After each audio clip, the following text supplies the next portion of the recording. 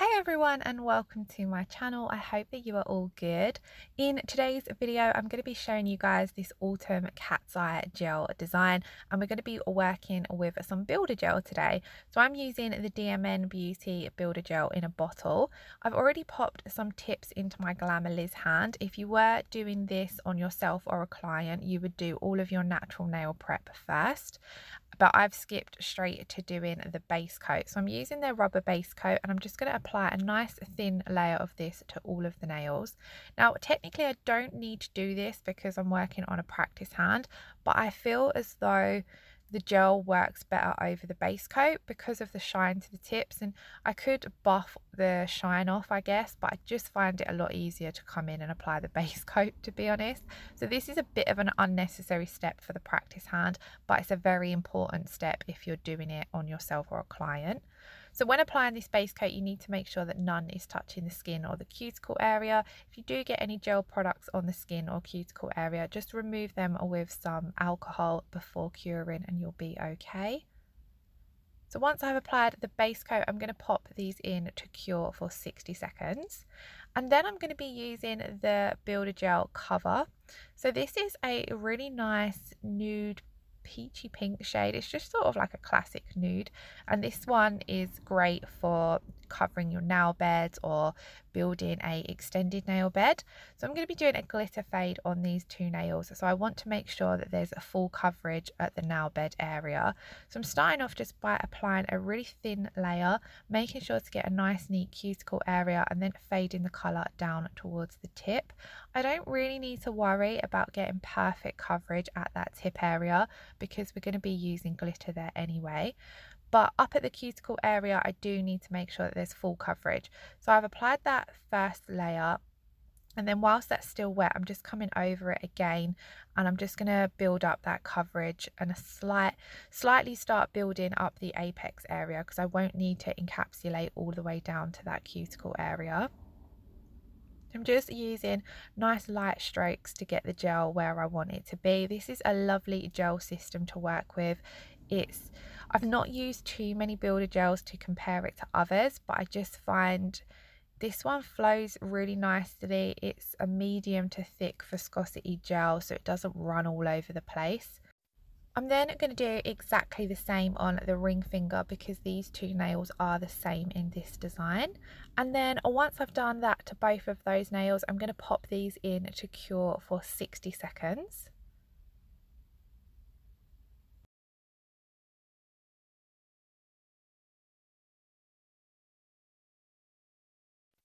For those glitter fades, I'm going to be using this gorgeous glitter mix from Charlie's Nail Art. This particular one is called Chocolate Orange and it's absolutely perfect for autumn. I do have a discount code for Charlie's which is ENA10 so I will leave that as well in the description box below but that will get you 10% off your order and I have to say Charlie's have an amazing selection of autumn and Halloween nail art supplies at the moment so I highly recommend checking them out.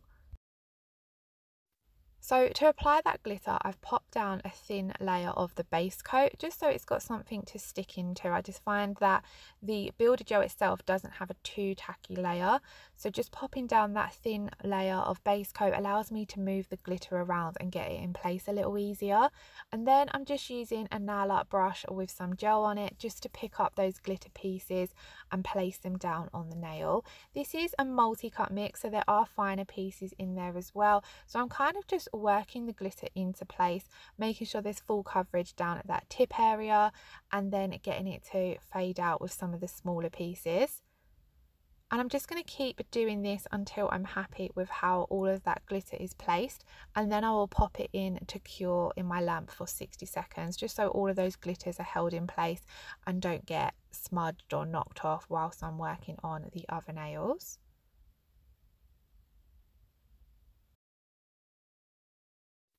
And going back to Charlie's Nail Art, I did recently do a autumn and a Halloween haul showing you guys some pieces that I bought from her site. So I will leave that linked in the cards above or in the description box below in case you guys want to check out some of the items that she's got for sale on her site.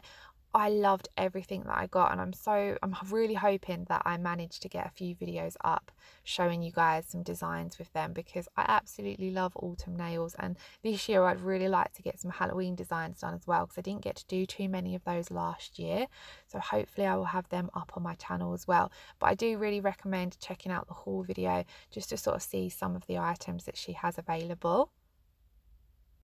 And now we're going to do exactly the same on the ring finger. So as you see there, when I pop down the layer of base coat, I'm really only applying that where I want the glitter fade to be. I don't need to take that all the way up to the cuticle area. We don't want to add any unnecessary layers or bulk, especially in that area. So I've just popped it down where I'm going to be popping my glitters. And then same as before, I'm just using a brush, an art brush to pop those glitters into place.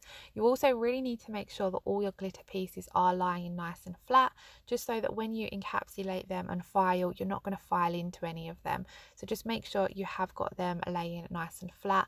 And this is why I just like to take my time and get everything into place rather than rush, get it on, and you've got pieces sticking up, and then you file into it, and it just ruins that overall finished result. But I do find glitter fades are one of my go-to easy things to do. They're super quick and easy and when you pop a bit of stamping over the top of them as well, I just think they look absolutely amazing.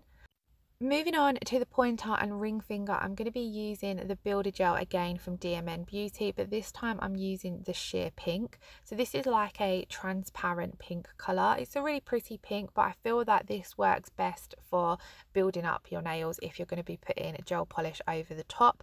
I feel like this would also be really good if you were sculpting as well and putting gel polish over the top because it's a little bit easier to use than the clear. Just because it's got that hint of pink in it, you can see it a little bit more, especially especially if you are a beginner with Builder Gel products. So to start off with, I put my thin slip layer down. So this is a thin layer of gel that you leave wet. And then I've picked up a ball of my gel and I've just placed that down at the cuticle area. I'm wriggling it up into place and then I'm just taking my brush from side to side and guiding that gel down the nail. Because we've got that wet slip layer down underneath, it just really helps that gel to flow into place. So you actually have minimal work to do anyway. And then as that gel starts running out towards the tip area, I'm just going to blend it down and then pick up another ball of gel and apply it where it's needed. So I needed a little bit more thickness just down that spine of the nail towards the tip. So as you can see, I'm just applying that, making sure that it's nice and neat at the free edge. We don't want it to be going over the sides or too bulky at the free edge. So I'm just using my brush to neaten that up. I then popped that into cure for 60 seconds and done exactly the same on the little finger and this is where we are with our design so far. And then we're going to be using the DMN Beauty Clear Builder Gel to encapsulate those glitter fades.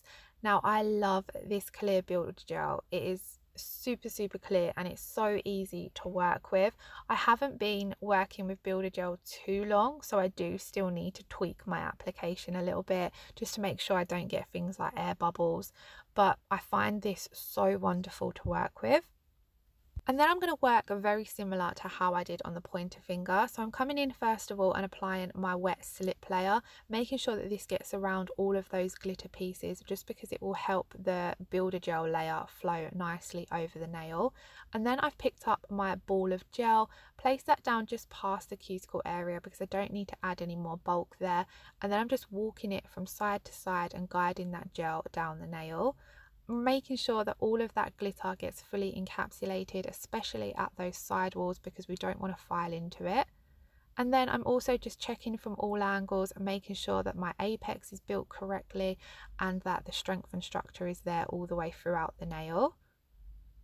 Just cleaning up those side walls ever so slightly just to make sure it doesn't overflow too much. This is just to reduce the amount of filing I'll have to do. And then I'm going to pop this in to cure for 60 seconds. Off camera, I then encapsulated the ring finger, did all of my filing, buffing and all of that jazz and this is what we're left with so far. So we're now going to come in and work on the pointer and ring finger. So I'm using this gorgeous colour from Halo. This is one of their cat's eye gel polishes in frankincense and it is an absolute gorgeous colour from autumn as you can see. So I'm just applying a nice thin first layer of this to both of those nails, making sure to get a nice neat cuticle area and also making sure that I'm keeping that layer thin so we don't ruin our shape. And then once I've applied this first coat, I'll pop this in my LED lamp to cure for 60 seconds. And we're going to work doing our cat's eye design on the second coat.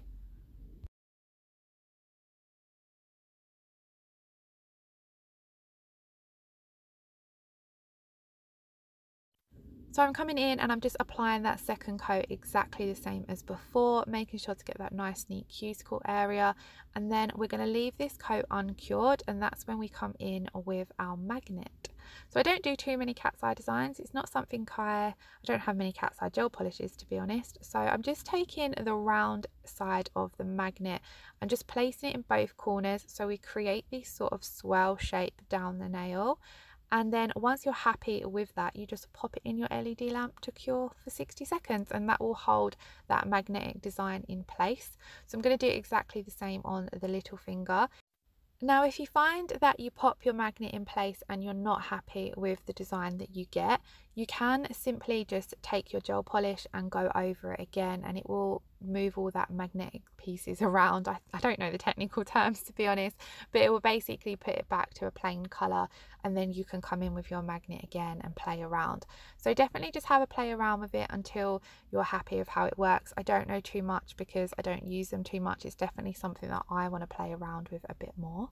So on those glitter fade nails, we're just going to do a little bit of stamping. I just wanted to put some swirls over the top. So I'm using the Pro Collection plate from MoYou. This is number 14. And I'm just using that image that I pointed out there with my Nicole Diary white stamping polish. So what I'm simply going to do is just pop those little swirls over the glitter fades just to give it a little something extra and this is something that I'm just really loving at the moment. Um, glitter fades with stamping over the top. I've been watching a lot of Talia's nail tales and I see that she does it a lot and it looks so pretty but I didn't have too many plates that had any swirls on them. So that's something I definitely need to purchase a couple more of because I think the swirls look the best over the glitter fades but I just worked with what I had. It didn't come out perfectly to be honest but I was quite pleased with the finished result. I'm just touching up here in the corner where it didn't stamp down too well I do have a few more in-depth stamping videos up on my channel. This one I was just simply showing you guys the design. But we're then ready to come in and top coat. So I'm going to be top coating with the DMN Beauty No Wipe top coat. I'm going to apply this to all of the nails and then pop them in my LED lamp to cure for 60 seconds.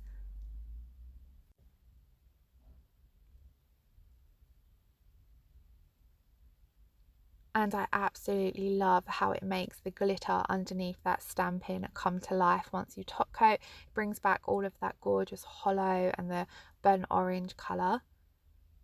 But then guys, that is the end of the video. I really hope you've all enjoyed watching. It's a pretty easy design, but I thought it would be something pretty for autumn. If you did enjoy watching, then please don't forget to like and comment. If you're not already subscribed to my channel, I would absolutely love it if you hit that subscribe button. And I shall hopefully see you all again in the next video. Lots of love. Take care. Bye-bye.